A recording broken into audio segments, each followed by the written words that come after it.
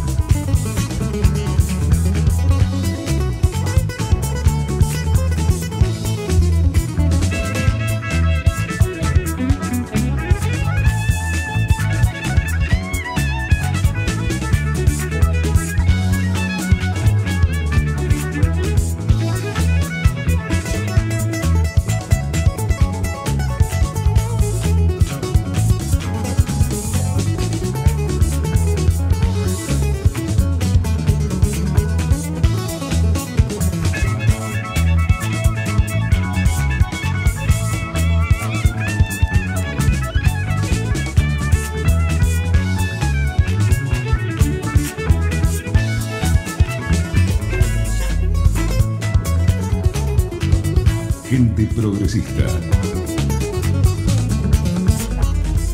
Bienvenidos, bienvenidos a Gente Progresista, cuarta temporada aquí por conexión abierta a la radio online de la Universidad Abierta Interamericana. Mi nombre es Marcelo Baño, de bienvenida a todos ustedes del otro lado, por supuesto. Eh, a mi amigo y compañero de ruta del profesor Carlos Peregrini. Charlie. ¿Cómo va? Bien, bien. bien. Eh, ¿Este mic está bien? Bien, buenísimo. Estamos funcionando con los dos mic, estamos a, pleno, A pleno. Eh, por supuesto, Julio Sánchez, eh, allí detrás en la operación y en la producción, en la gran timonel de este programa. un agradecimiento, como siempre, como cada miércoles, este espacio plural que nos brinda la Universidad Abierta Interamericana. Y, por supuesto, Daniela Ferril, la enorme Daniela del otro lado, claro que sí. Ah, y, el más enorme, Adrián de Sanso. Les mando un beso muy grande a todos. Comenzamos en un ratito ya, y vamos a tener este invitado y también tenemos este llamados.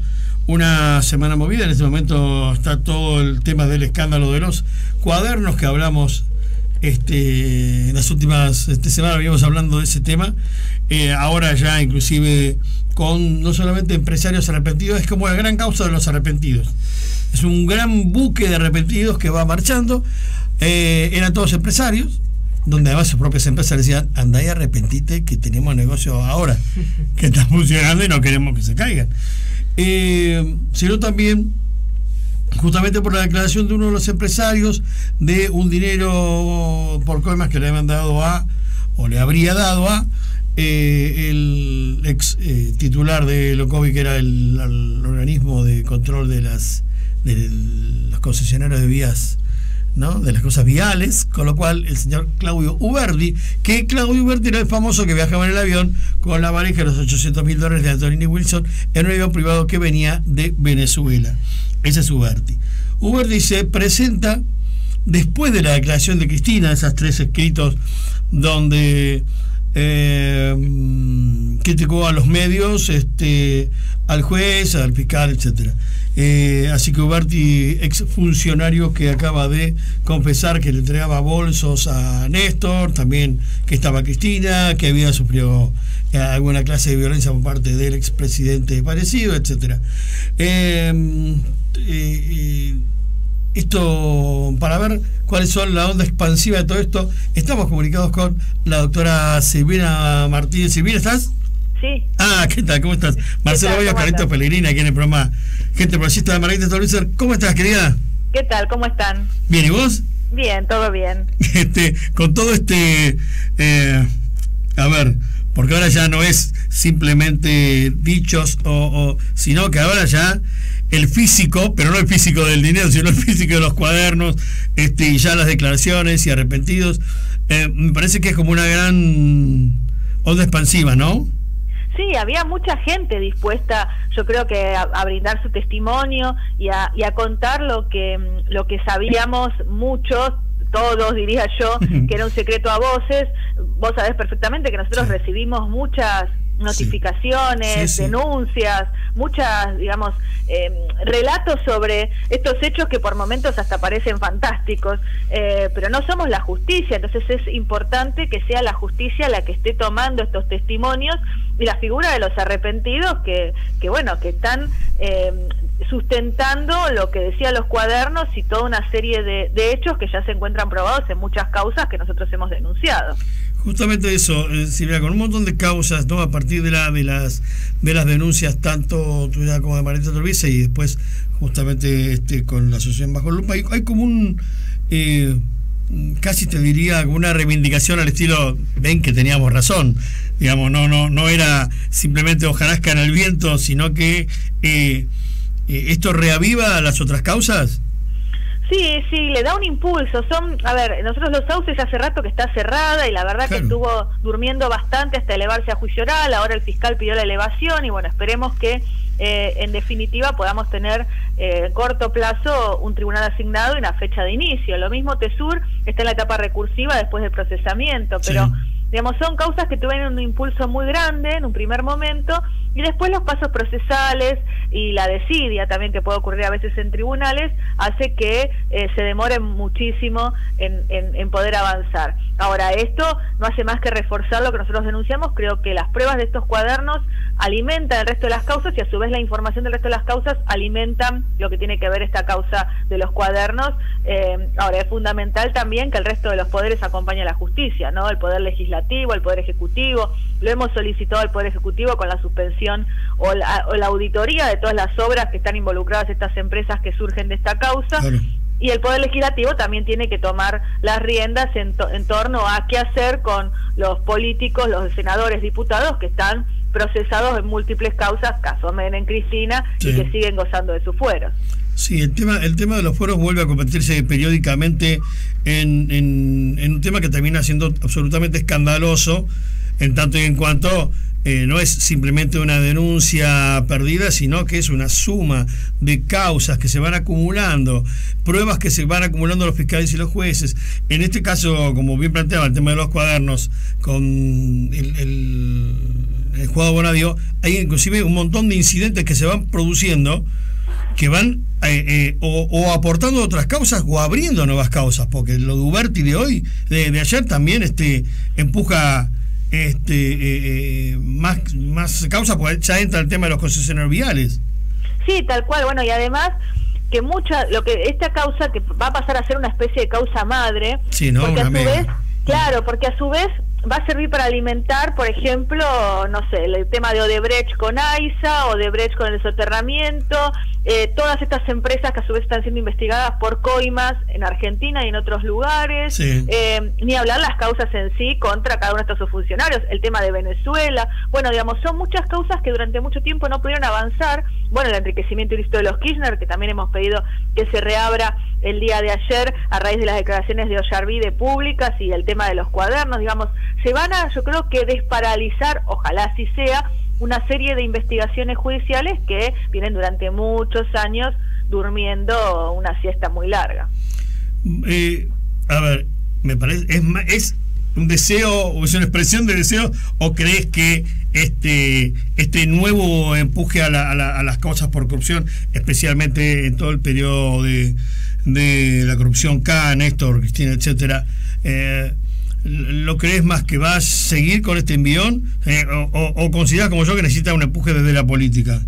No, yo también creo que necesita un empuje de la política. No hay milagros, o sea, acá eh, va a haber un empuje, está haciendo este, este, digamos, punto máximo de ebullición con una cantidad de arrepentidos y, y esa, estas pruebas que agobian, pero esto puede quedar en la nada si, si termina siendo una causa más, aunque el juez dicte el procesamiento y después termine toda la etapa recursiva y hasta llegar a juicio oral terminen pasando tres años eh, el tema se diluye. Entonces, si no hay una, una voluntad política detrás em, y que esto empiece a ser, digamos, el norte para la Argentina y empezar a, a, cambiar realmente, no, no vamos a tener, va a ser una causa más que sí va a quedar en la historia, pero lamentablemente no va a haber un cambio profundo en la sociedad. Silvina, eh, em, esta vez, digamos, ya no le puede echar toda la culpa al presidente es parecido, ¿no? Eh, que era una forma también, este, la culpa la tenía Daniel Muñoz, o sea, le, echarle la culpa a los, muertos, que el muerto no responde. Pero en este caso, eh, lo de Uberti como un funcionario arrepentido, que ahora te quiero hablar, preguntar sobre el tema de la, de figura del arrepentido, eh, las balas le pican cerca a Cristina esta vez. ¿No? Dice, no, todo dice, no, sí, Cristina estaba, la llevábamos a Olivos, este, llevábamos los bolsos, este, y Guberti dijo esta vez, no, sí, dejamos los bolsos y Cristina estaba cuando yo entregaba los bolsos con, con, millones de dólares. Eh, sin embargo, tiene una protección de esta especie de doctrina Menem, como bien nombraste, eh, eh, que blinda a Cristina en el Senado. Pero ¿cómo puede hacer la justicia para seguir avanzando sin este sin la anuencia por lo, por lo pronto de la mayoría del Senado? Sí, es muy difícil, a ver, porque eh, la justicia va a poder avanzar hasta la instancia de la condena eh, y ahí tener que pedir, digamos, el, desafuero para la prisión, ¿no? Eh, porque hasta tanto, evidentemente, no se lo van a otorgar a cualquier senador o diputado en estas condiciones. Ahora, diputado por lo menos parece un poco más por la doctrina de lo que sucedió con debido. Con debido, sí, un poco más flexible, sí. Un poco más flexible, pero en el caso del Senado, antecedentes de Menem y lo que pasa ahora con Cristina, no. Ahora, es manifiestamente inconstitucional porque se, digamos, la ley no establece que, que, el poder legislativo se convierta en un tribunal superior y si un juez, mucho menos la Constitución, determina la prisión de un senador por haber cometido determinados delitos, esto tenga que estar en la última instancia. De hecho, la, la, digamos, el origen de los fueros o las inmunidades tiene que ver con que pueda opinar en el recinto, con opiniones, exactamente, y además con que no sea detenido en el momento que tiene que votar una ley determinada. Ahora, nada, nada lo protege porque el tipo haya cometido una serie de delitos como sucede ahora y de golpe sea protegido en el marco de eso. O sea, ahí hay una gran diferencia que, que es lo del abuso del Senado. Ahora, ahí volvemos a lo mismo, en el marco que la política no destierre esta, este planteo eh, y no se pueda cambiar con esta doctrina, pero desde el fondo de la política y que la ciudadanía a su vez reclame a aquellos que no están votando acorde a, los intereses de la sociedad, sino a sus propios intereses, bueno, ahí no vamos a tener solución, me parece. Eh, absolutamente de acuerdo. Si hay un tema, ¿no? Antes, para encontrar un arrepentido, tenías arrepentido que después se decía este, como pasó, no sé, con el Ascar o después este, el tema de Pareña. Ahora de golpe tenés un barco lleno de arrepentidos, o sea, este, cada uno este, que pasa una noche en prisión rápidamente este, se arrepiente y la figura del arrepentido pareciera, em, no sé si vapuleada, pero me parece como que de golpe todos los empresarios este, se arrepienten, sin embargo, la condición de colaborar arrepentido tiene eh, condiciones muy, eh, muy taxativas, ¿no? Sí, exactamente. Bueno, pero también hay un cambio en la justicia con relación a esto, porque eran empresarios intocables, ¿no? Nunca nadie se atrevía, como sucedió ahora, a de golpe hacer un, una ola de detenciones a los principales empresarios de la Argentina y a, a, exfuncionarios y que de golpe terminaran todos detenidos en una en una fila y preguntándole para declarar. O sea, era digamos una realidad para ellos totalmente desconocida e impensada aún en cuatro vidas. Entonces, creo que eso... Eh, digamos, forzó y volcó esta ola de arrepentidos, ¿no? Por un lado. Eh, es como eh, pensar que la justicia iba en serio por primera vez y que no se iba a dar con vueltas, ¿no? eso por una por un lado. Ahora, obviamente vos tenés que tener una moneda de cambio a corto plazo para que tenga sentido al tipo arrepentirse. Muchas veces dijimos que acá no funcionaba esta figura aún antes de la sanción de la ley, mucho menos después de la sanción de la ley, porque no tenían nada para perder. Ahora, tanto en el caso de Fariña como en de Van de Brole, que son los dos antecedentes más cercanos, sucedió precisamente con la amenaza de prisión. Fariña estaba durante mucho tiempo en prisión, frente a eso salió y Van de Brole, frente al escenario de que Vudú, Núñez Carmona terminaban presos, se arrepintió y empezó a hablar. Creo que si la justicia no empieza a utilizar esta moneda de cambio, eh, bueno, nadie se va a arrepentir, esa es la realidad. Todos salieron por la puerta felices y contentos después de este, este convenio que habían firmado. Ahora vamos a ver los datos que aporta cada uno y en realidad lo que, lo que se puede probar en base a cada uno y no significa que van a ser eximidos de cualquier tipo de delito, sino que el día del juicio oral, veremos en los procesamientos antes del juez, y el día del juicio oral, bueno, se va a tomar en cuenta su aporte en el marco de la causa para bajar eh, la pena, ¿no? En caso de que se determine de que han sido culpables, cosa que creemos todos que así sucedió. Eh, así que bueno, veremos en el debut de esta figura lo que sucede después en la práctica, porque si en realidad todos estos empresarios o todos los que se arrepintieron terminan sin ningún tipo de responsabilidad, bueno, claramente la figura no va a cumplir su rol. Claro, pues si no sería el arrepentido es como la carta del monopolio para salir de la cárcel, ¿viste? Exactamente. el comodín que yo utilizo y digo, ya está, soy libre de culpa y cargo, ¿viste? Una especie de confesión ante el cura y puedo seguir pecando sin ningún tipo de problema. Entonces, bueno, por eso veremos cómo lo utilizan a futuro en este proceso que me parece que es muy interesante. Sí, porque la, digamos, la condición del arrepentido primero es que sea veraz, ¿no? Primero. Claro, que puedan demostrar de que sea de que sea real los datos que estén aportando.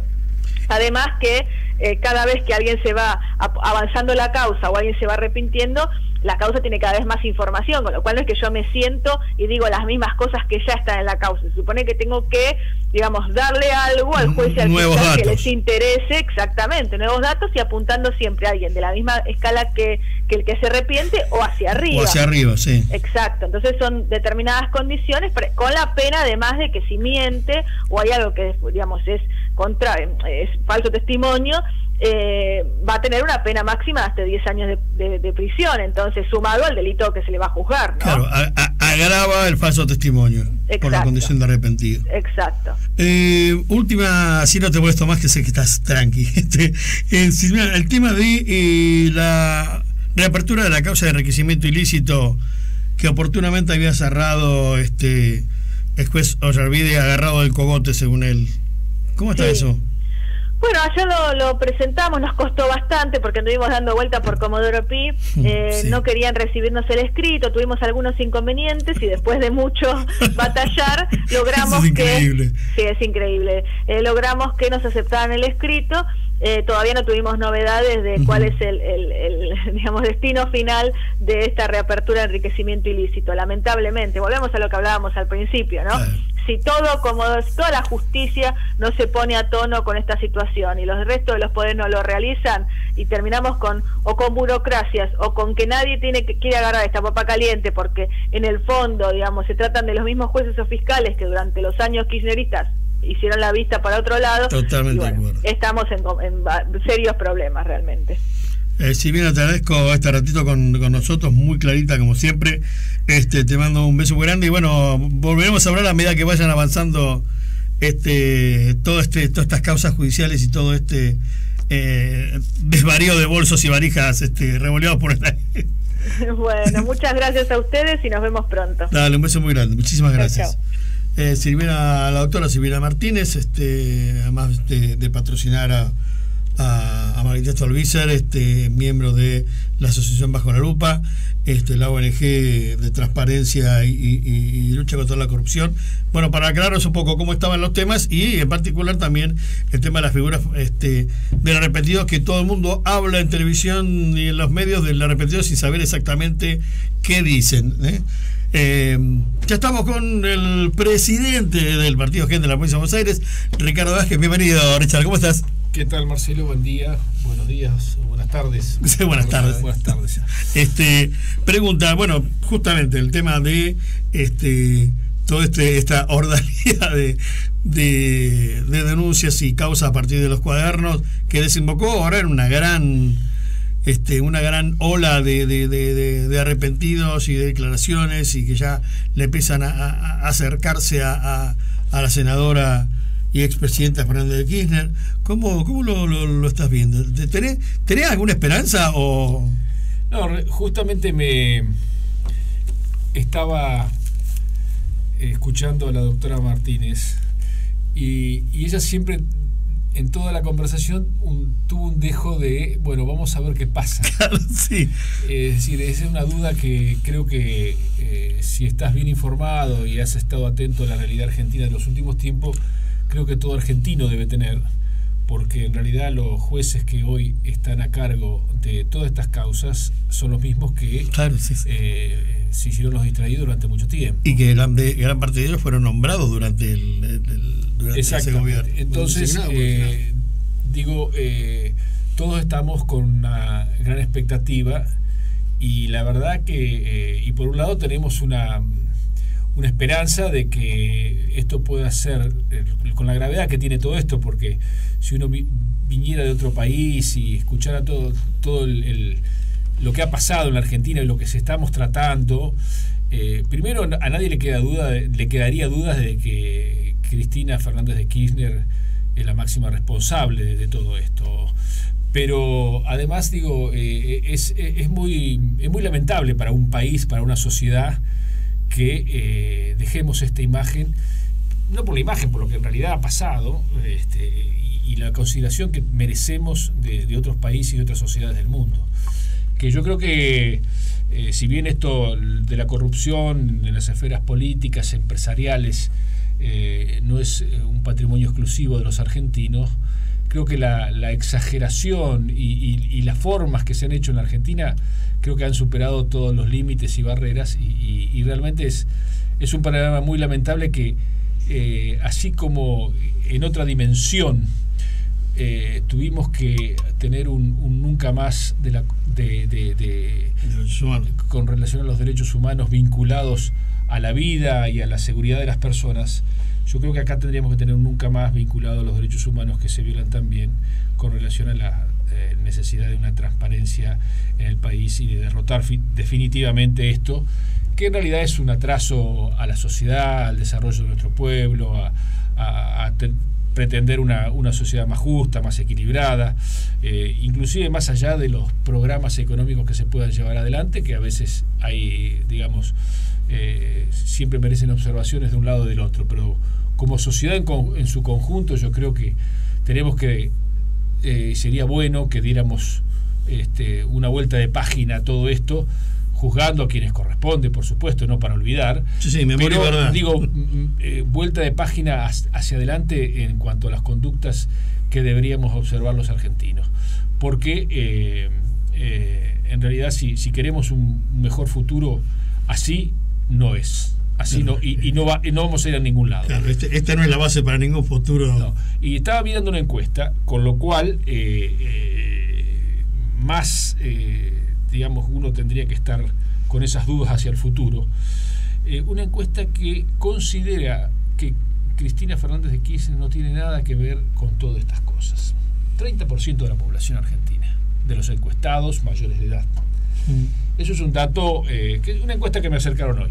El, núcleo duro, digamos. Eh, sí, pero digo, el núcleo duro que lo que me llama poderosamente la atención que ante tanta evidencia haya tanta irreflexión, digamos, y, tanto, si se quiere, cinismo de la sociedad o, la fantasía de crear un mundo que no existe, digamos. Es decir, esto no pasó y por lo tanto este, eh, sigamos adelante con lo que venía, porque está bárbaro.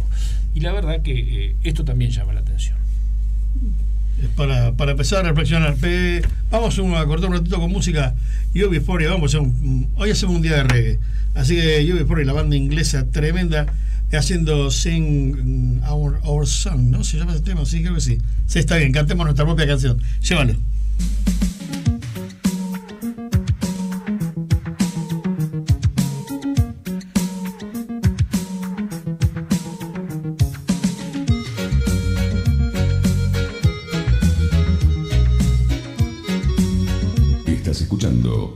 Gente Progresista, el programa de Margarita Stolbizer.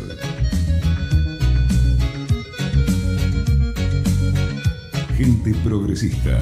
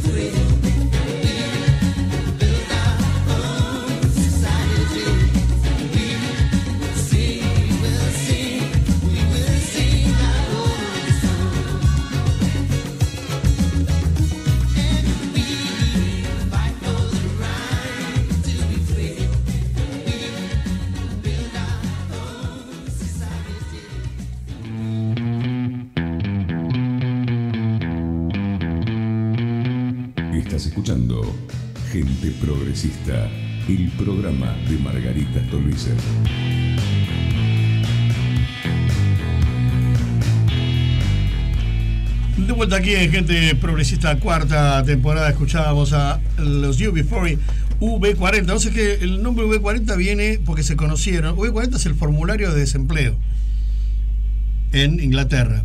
Durante la época de este, el segundo año, tercer año de Margaret Thatcher, cuando aplicó las medidas económicas que dejó devastado a este, eh, Inglaterra, eh, se conocieron haciendo la cola del desempleo para llenar el formulario V40, UB40. Se conocieron y eran músicos.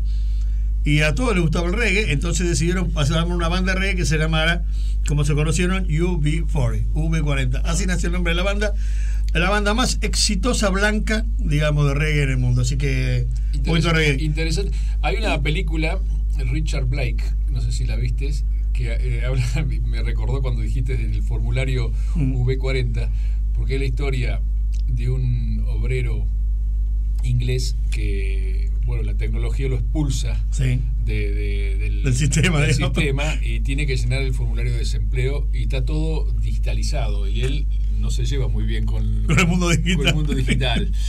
y este, entonces son todos los los contratiempos que este pobre hombre sufre durante la necesidad de cobrar el seguro de desempleo que termina no cobrándolo, termina enojado con el sistema y, bueno, tiene un, final este, trágico. Trágico. Eh, ah, un saludo a Marianela López, por supuesto. Eh, Marianela, te mandamos un beso muy grande. Eh, querido Carlitos, vía de comunicación, ¿dónde nos pueden ver? Todo. Muy bien, bueno, eh, Teléfono. Teléfono primero.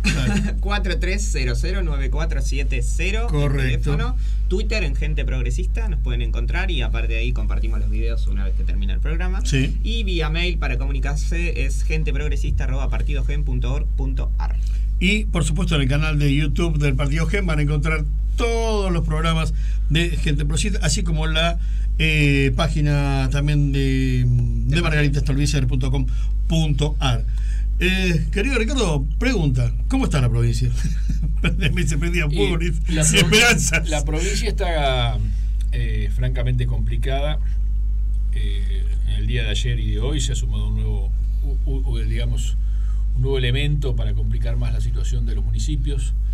Digo complicada porque tenemos problemas francamente muy graves en el tema educativo, el conflicto permanente con los gremios docentes no ha cesado y, esto impide, yo creo, avanzar en, alguna otra cosa que tenga que ver con algunos de los objetivos que todos nos proponíamos cuando decíamos que teníamos que avanzar sobre la reforma de, los, de la currícula para mejorar la calidad de la educación, la metodología, los sistemas, ni que hablar de la doble escolaridad, por ejemplo, que, era un, un, tema central, hoy es un tema central, y sin embargo es ínfima la cantidad de establecimientos que hoy tienen esa, esa condición. Nada más la profesionalización de la, jerarquización del rol docente, la profesionalización de la eh, Eso es grave, está muy, está muy complicada también los servicios de salud, eh, los continuos eh, conflictos también con la CICOP, que son es la el organismo que nuclea a los médicos,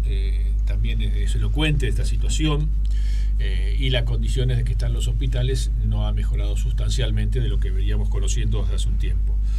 Eh, había, sí, y eso hay que reconocer, obra pública, que eh, sobre todo algunos caminos, pero esta situación, ahora con el ajuste tremendo que se, que se está ejercitando sobre las finanzas públicas, también va a tener un, un, correlato, ahí, un correlato en este tema.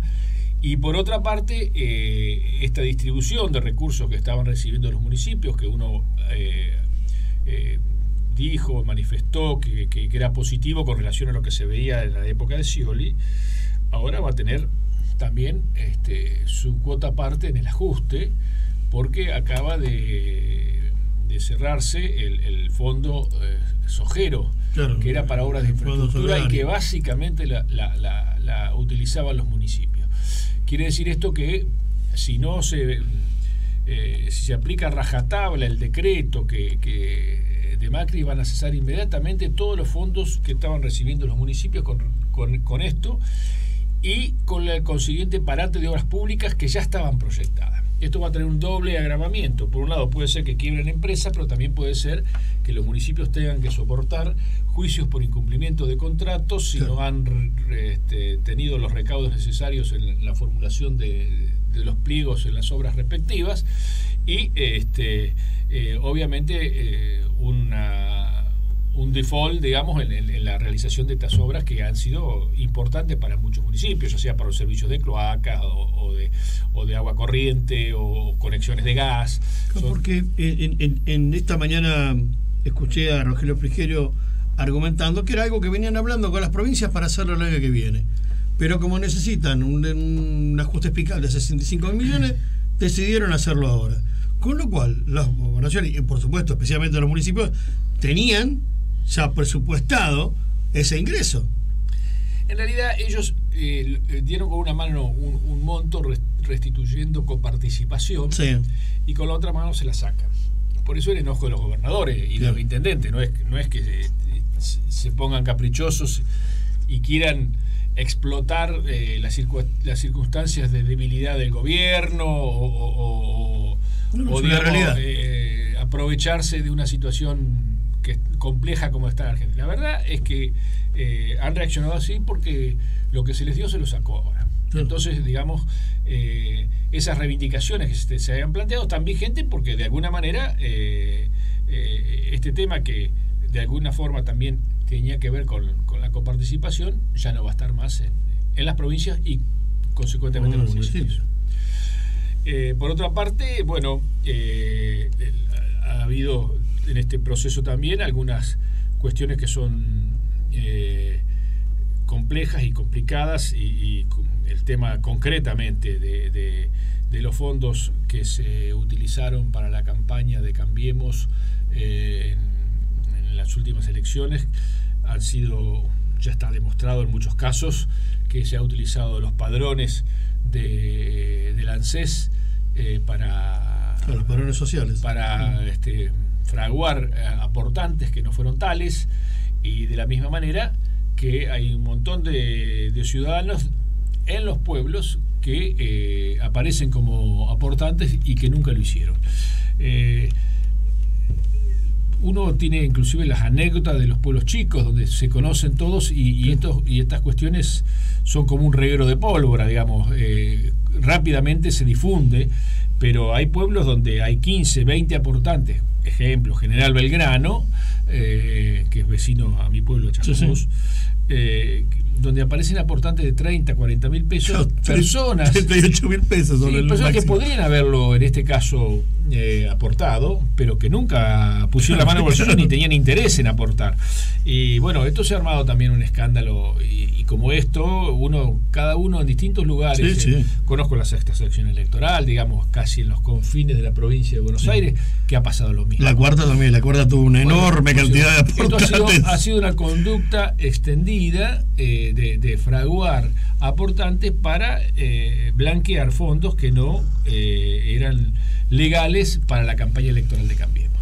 Y esto está, digamos, sin resolverse todavía a pesar de que el escándalo de los cuadernos ha diluido un poco esto, yo creo que eh, tenemos que seguir insistiendo porque hay una cierta cobertura mediática que aparentemente quería hacer aparecer como que todos los partidos cometen lo mismo y este y la verdad que no es así entonces este, hay partidos que sí y otros que no entonces lo que hay que hacer es que eh, aquellos que cumplen la ley tengan de alguna manera un reconocimiento y un premio y sean castigados los que no lo hacen, porque de lo contrario eh, estamos este, nivelando para abajo, y no para arriba. Sobre todo cuando es sistemático, digamos, no es que se produjo en un pueblo, en un distrito. No, no, no fue una ocurrencia de un puntero. Claro, exactamente. Que, cualquiera puede tener un, episodio de esa naturaleza. puedes, tener a alguien infiel que lo haga y lo resuelva así, ¿Eh? pero no cuando lo haces en todas las listas de todo. Esto fue una, una, organización que eh, se armó para cometer este, este ilícito. Sí, sí, sí. Y entonces este, deberá ser juzgado, sin duda, porque hace al, al, funcionamiento adecuado del sistema democrático que se basa, entre otras cosas, fundamentalmente en la confianza pública. Si la gente tiene confianza, legitima el sistema. Si no tiene confianza, el sistema es deslegitimado. lo que está pasando eh, ahora, donde eh, cuando comenzamos la, charla, eh, no hay confianza en la justicia, no hay confianza en la política y por lo tanto hay una deslegitimación de las instituciones democráticas. Y nosotros, si queremos un país que funcione en serio, que vaya para adelante, necesitamos instituciones creíbles, sistema estabilizado y democracia plena. sobre eso tenemos que trabajar. Claro, el tema es, Ricardo, que y, justamente tenemos de fondo el tema de eh, la sesión del Senado para permitir los allanamientos como medida de prueba. No hay quórum, está caída, se cayó definitivamente, ahora están hablando en minoría. Por el otro lado, eh, eh, es el mismo Senado que este, no amplió derechos en el caso de, del aborto. Entonces, todo el tiempo tenés señales a la sociedad que van este, abonando lo que vos decías, va abonando el desprestigio, va abonando el descreimiento. La justicia tarda 17 años, 13 años, 15 años en juzgar un caso de corrupción y, lo, y, cuando empezás para atrás decís, bueno, los casos son... Van a, terminar, van a terminar siendo literal la figura que muchos han usado de que el Senado es un aguantadero.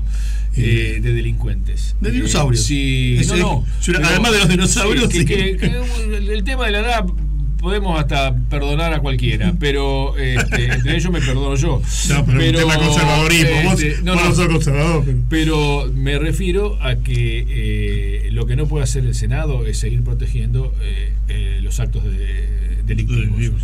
Y esto me parece que está claro. Ahí, pero abona, abona tu, abona tu, tu digamos, tu tesis del el, descreimiento que va a empezar, que va, que va sumándose. Entonces, eh, lo que hay que evitar también es que después de todo esto venga o la gente recurra a algún salvador que este, acá esto se resuelve profundizando la participación de la gente, eh, reclamando a la sociedad con más energía, castigando a los malos y premiando a los buenos, eh, castigando a los corruptos, exigiéndole a, a las autoridades conductas este, ejemplares. Esto es lo como se solucionan estos temas, este, más allá, ya digo, de los, porque esto es previo a, cualquier aplicación de un programa para resolver los temas de, desarrollo o, cualquiera de los programas de que, un partido político o una coalición intente llevar adelante desde el gobierno. Si no tenemos este, esta base previa de de transparencia, va a ser muy difícil que se pueda cumplir lo demás y bueno, con las consecuencias que ya estamos sufriendo y soportando, porque lo que pasa en la Argentina no es de casualidad, ¿eh? lo que nos está pasando, entre otras cosas, también es debido a la corrupción. A propósito de este tema, en el día de ayer eh, Margarita Stolbizer con el doctor Juan Carlos Vega presentaron un pedido de audiencia a la Corte Interamericana de Derechos Humanos precisamente sobre el tema de la corrupción y específicamente el impacto de la corrupción sistémica, podríamos decir, en Argentina y en la región, en el, en el índice de descrimiento de las instituciones y la política y la justicia, como estábamos diciendo recién, y también focalizado en el tema de la vulneración de los derechos humanos. ¿no? Son los dos pilares sobre los cuales eh, el pedido insta a, la Comisión a, empezar a estudiar y analizar profundamente cuáles son los impactos de la corrupción eh, en el descrimiento del sistema de justicia. Había algunas encuestas que realmente también, ¿no? como, como la que decía hace un rato Ricardo, alarmaban a, precisamente ¿no? a, estos índices, a ver si la, bueno, no, no la encuentro por aquí, pero hubo altos índices de descrimiento de la política en los encuestados a partir de un estudio del Colegio de Abogados de Córdoba con respecto al funcionamiento de la justicia. ¿no? Coincido plenamente con, con Ricardo en este sentido, digamos. Un país no puede avanzar en serio en ninguna agenda, ni económica, ni social, ni política, sino cumple y, efectivamente supera mínimos estándares en, credibilidad eh, en cuanto a las instituciones y la justicia. Eh, vamos con un tema, seguimos escuchando reggae. Eh, viene el caso, quiero agradecer por supuesto a la fábrica eh, por los, estas masitas exquisitas que comemos cada miércoles en la fábrica. Eh, conocer todas sus sucursales, entra a www.lafábrica.com.ar o llama al 0810 222 8333 Los Pericos, sin cadenas.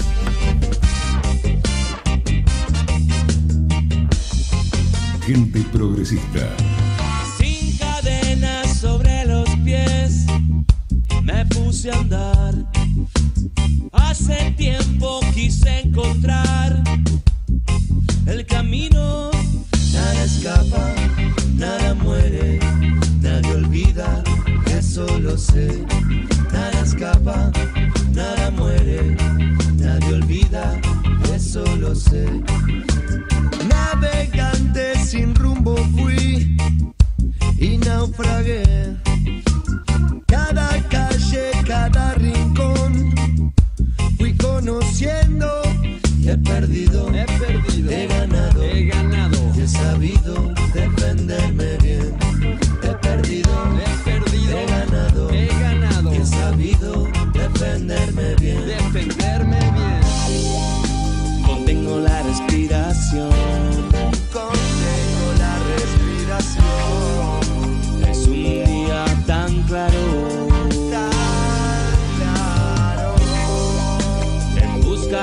historias felices.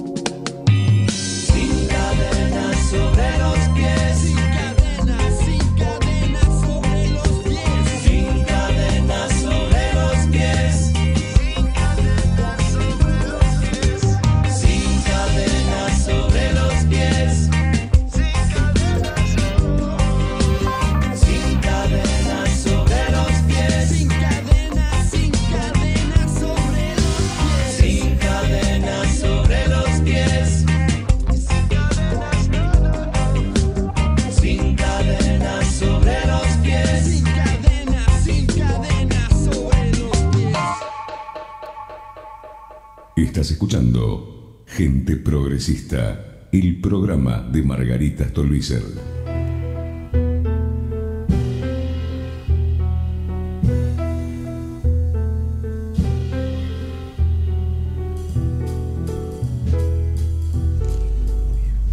De nuevo aquí, gente progresista cuarta temporada, escuchábamos a Los Pericos haciendo sin cadenas ¿eh? sobre los pies. En realidad algunos van a llevar la cadena entre entre las manos, se llaman esposas eso. Eh, este, eh, Ricardo, pregunta, el, ¿cómo está, digamos, la situación partidaria en la provincia de Buenos Aires y lo que viene? ¿Cuál es la agenda del partido que en la provincia de Buenos Aires? Eh, nosotros tenemos ahora un, estamos trabajando todo el año lo hemos hecho en visitas a las distintas secciones electorales, hacemos plenarios en compañía de los compañeros de las distintas de las secciones, eh, de tal manera de dar una participación en el debate, que es un debate necesariamente eh, complejo, porque la situación de la Argentina es compleja. Eh, nosotros estamos aspirando a, construir efectivamente un, polo que pueda ser una alternativa a este gobierno de Macri, que nos parece que es un gobierno conservador, que no ha dado ninguna de las soluciones, ni las políticas que te traía, ni las económicas. Eh, al contrario, yo creo que ha sido un gobierno que, que, que, que se ha enredado, eh, eh, digamos, siendo benévolo en sus propios errores. pero lo sí, es, el gobierno que todas las personas que van afuera las mete adentro. Sí, pero además, digo, todos los errores que ha cometido. Por eso digo siendo benévolos, porque la otra consideración podría ser, bueno, este, exprofeso, nos invitaron a a participar de, una fiesta que se hacía en otro lado y se llevaron todos los regalos hacia afuera eh, con el esfuerzo que todos hemos hecho para comprar un poco de colaborar con ese festival de, de, bonos que porque uno mira y dice ha sido un gobierno que en realidad no ha tenido demasiados inconvenientes institucionales para abordar las leyes que tenía necesidad de sacar. Correcto. Segundo, no ha tenido tampoco desbordes populares que lo hayan este, eh, de alguna manera acorralado y que haya tenido que eh, jugar contra reloj por ese motivo. Tercero, la, oposición, empezando por aquella más responsable que está tratando de, digamos, consciente de la situación compleja que dejó la Argentina Cristina Kirchner, también hizo su aporte y, y allanó el camino para que el gobierno gobernara. La, Cristina Kirchner, por la necesidad de, no hacer olas por su situación particular, se llamó a silencio. Eh, y quizás también como estrategia política, porque como el gobierno se enredaba solo, dejaba que, quisiera. Bueno, digo, no hubo ningún impedimento, y sin embargo, eh, lo que se ha evidenciado en estos, este, sobre todo este año, ha sido que este, en, lo más alto del poder económico y sobre todo financiero, se han producido los desfasajes, donde la Argentina está en una situación de debilidad tremenda y donde los capital financiero ha sido el gran ganador de todo este proceso, el gran ganador de todo este proceso, donde se han acumulado riquezas y se las llevaron Así. Entonces yo creo, primero, hubo una, una estrategia muy equivocada este, de, recurrir a, solamente soluciones financieras, como se llegó los dos primeros años, eh, endeudando alegremente al país, y por otro lado, este, cayendo de última en el Fondo Monetario, que era, eh, digamos, dada la situación, era lo mejor que nos podía pasar, pero no porque fuera un, un fin o un objetivo querido. Y, bueno, y todos los días estamos sufriendo convulsiones con el dólar, que no lo hace la gente que va a comprar eh, algún pesito para ahorrar, eh, eh, si no son los, los, bancos y las entidades financieras los que mueven lo, que mueven eso y lo que disparan el dólar, generan la inseguridad. Quiere decir que este, es un gobierno que no no tiene el respaldo del establishment porque se ve que lo están moviendo todos los días y mucho menos de lo popular porque le ha dado la espalda. Que entonces es necesario construir una, una alternativa. Y para eso nosotros tenemos que, digamos, necesitamos nuestra voluntad y estamos trabajando, articulando para ello, pero también necesitamos voluntades que eh, exceden a la a la disposición del gen eh, para construir esta alternativa. Por eso pensamos nosotros que esto tiene que sumar el socialismo, tiene que sumar sectores del peronismo que no estén comprometidos con la corrupción y, con, y tengan un claro compromiso democrático y sectores del radicalismo que eh, están eh, muy ajenos como partido político a su tradición en un gobierno que digamos, también le da la espalda a, esa tradición progresista que ha tenido el radicalismo en algún momento.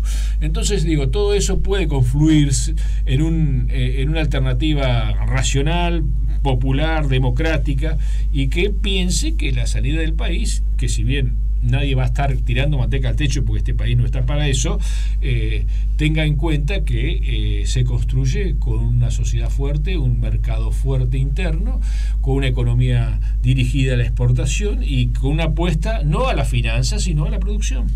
Este, entonces, el problema acá es que la economía la maneja un señor que ha administrado mesas de dinero todo el tiempo. Entonces, no es un economista, como muy bien se decía por ahí, sino un administrador de mesas de dinero.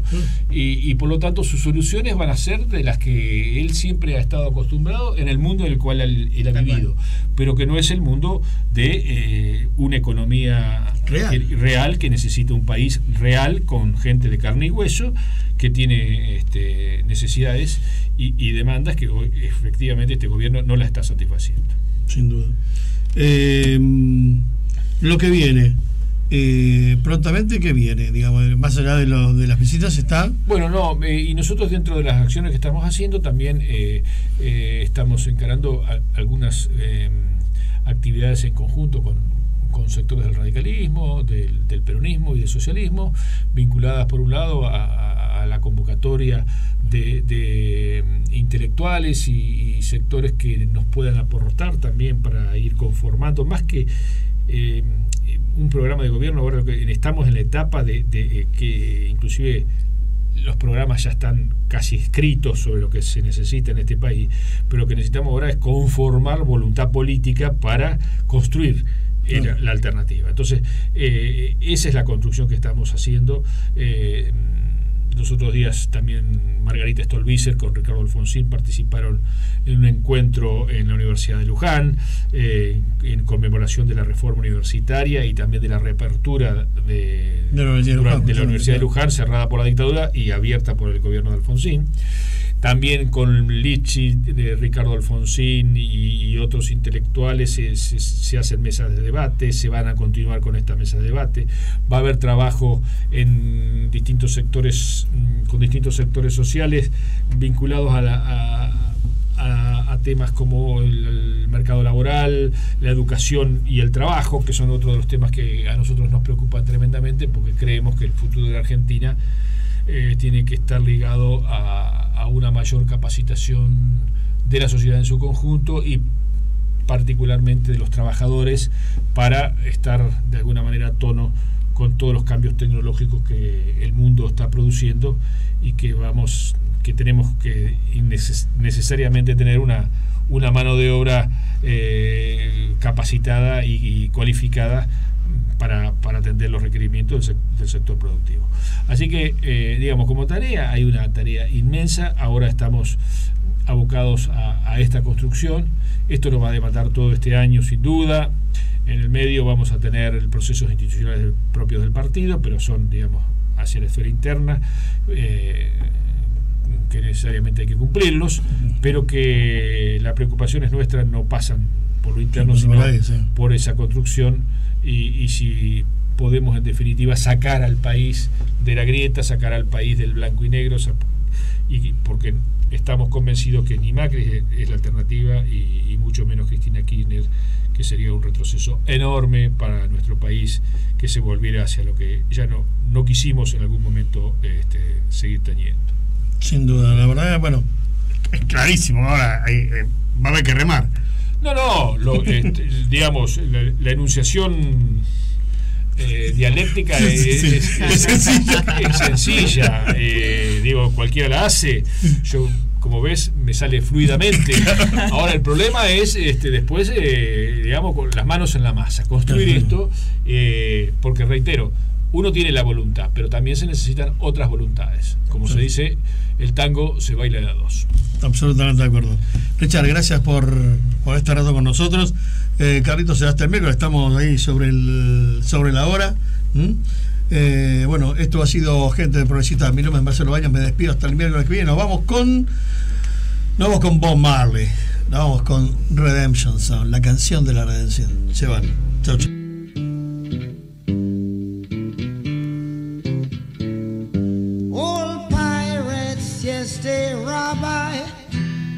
sold